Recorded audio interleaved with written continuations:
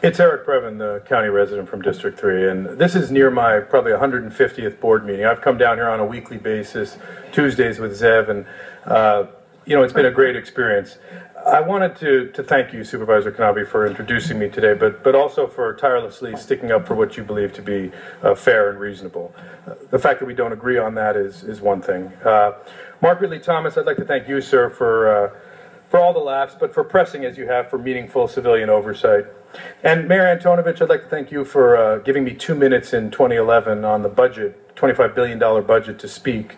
Uh, it motivated me to appreciate the difficulties of being an outsider down here. And Supervisor Molina, you certainly deserve some credit for saying, Mr. Preven, if you don't like it, why don't you run for supervisor? But Zev gets most of the credit because he uh, challenged me and said, you know, it's not going to make a bit of difference. But I'm going to run for the county supervisor third district seat. I appreciate your support, but I'd like to ask you to hold off on endorsements now because I'd like to get my website up and running. And I think it's fair to the other candidates that we all get a chance to level level playing field. So you, thank you you, can for be your assured time. we're going to hold off. I'm sorry, sir. I didn't hear it, sir. Well, he's only going to say it once. Oh, okay. I'll, I'll check the transcript. Thank you, though. I appreciate that. Good luck. We'll see you out there.